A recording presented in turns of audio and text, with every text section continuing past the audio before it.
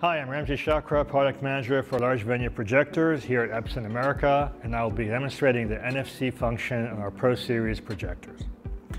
NFC stands for Near Field Communication and is a method to exchange information wirelessly between two devices that are a few centimeters from each other. You may already be familiar with it if you use your mobile phone for payment instead of your physical credit card. Epson's NFC implementation for projectors is to change settings and read data from the projector and most any Android or iOS mobile device with an NFC chip reader. Epson's first NFC function implementation was in our EB-PU 1000 series and the EB-PU 2010 projector here next to me. One way to check if your Epson projector has NFC is to look for the logo here on the back panel or find the logo on top of the projector. You can see the NFC logo for this projector is on the back panel here. One of the benefits of NFC is that you can use it without the projector connected to AC power. This makes it very useful when commissioning a large number of projectors as you can read or write to the NFC chip while the projector is still in the original factory carton. So all you need to do is open the top cover and bring your mobile device near the NFC logo area. This allows you to set initial settings such as the IP address for your network prior to installing the projector. Post-installation, NFC is useful for the routine management of projectors.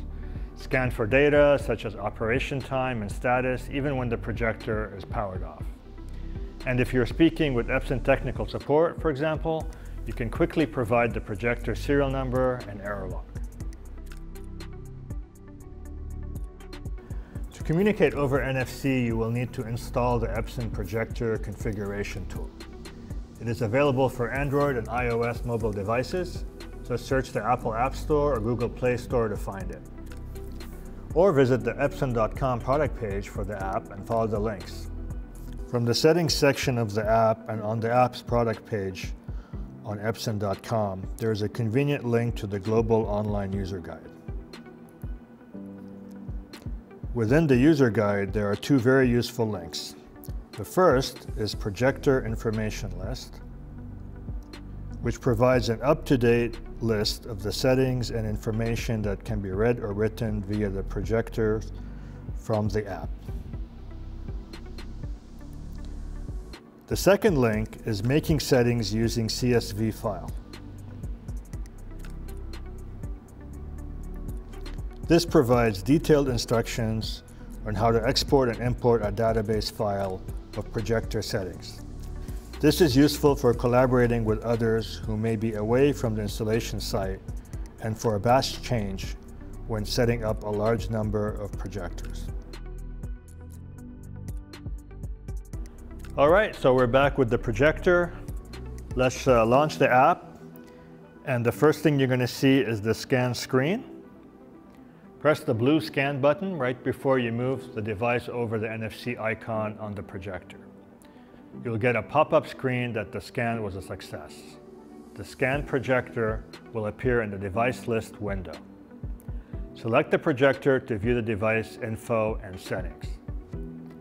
To change settings, select the blue Change Settings button. Now you can type in and toggle to new settings. Click the blue Save and Close button to save your changes. When you go back to the main device list screen, you will see that the projector that you modified is now under the Modified Devices list.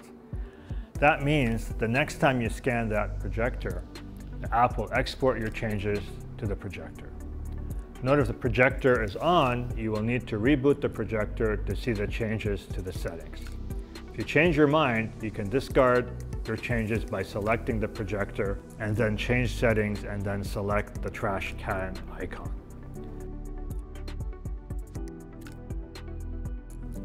On the app, there is a limited set of batch changes you can perform across multiple projectors. Press Select in the upper left corner. Select two or more projectors and then select Batch Change in the lower right corner. Select the changes you want to perform from the menu.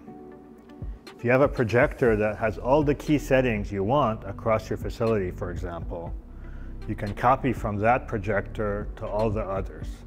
Select Copy Settings from another device. Click Next and select the devices you want to copy to. Select the blue button, Done. You can perform more extensive changes by exporting and then re-importing a database file to the app. Let's take a look at that. Select one or more projectors that you want to export settings to the database file. Select Export, then send the file to your device with a spreadsheet application such as Microsoft Excel. So here I have exported the database file and opened it on my desktop PC. So let's take a closer look.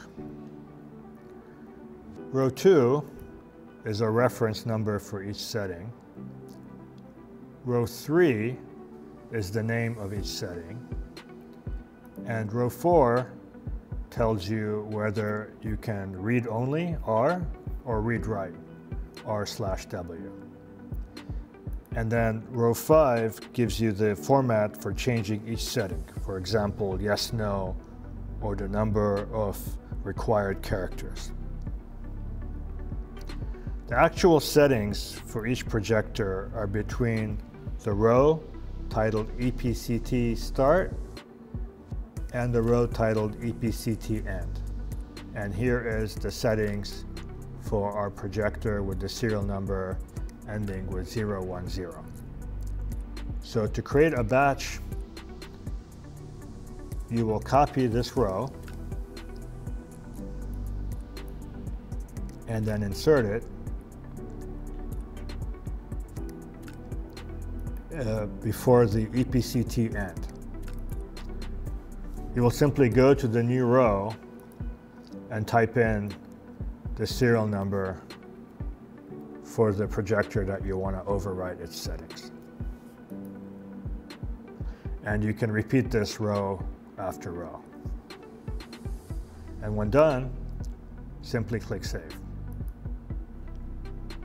And then take this database file and send it back to your mobile device. From within the app, click on the plus sign in the upper right corner and select Import File to modify settings. All right, so before we wrap, let's talk about security settings. With your projector, go to the on-screen menu, then go to Reset NFC Settings. NFC write protection prevents scanning the projector settings under all conditions, while NFC write password you can set a password for scanning the projector's settings. Also, the mobile app itself has additional security settings. Under the settings icon, select default NFC write password. If the NFC password on the projector and the password in the app match, you don't have to enter the password manually each time you scan the projector. Also note that this same password in the mobile app will automatically transfer to a projector that does not have a password set. Note that the first time the projector is opened from its factory carton, it will not have or require a password.